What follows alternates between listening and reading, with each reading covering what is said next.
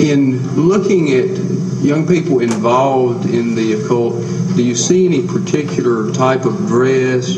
I have uh, personally observed people wearing uh, black fingernails, having their hair painted black, wearing black t-shirts. Sometimes they will tattoo themselves.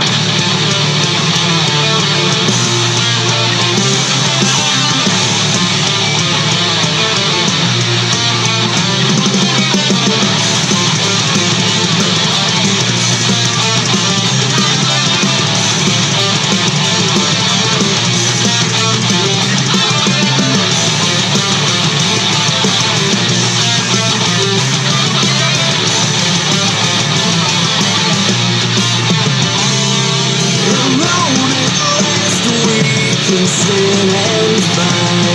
I've lost all faith in this blood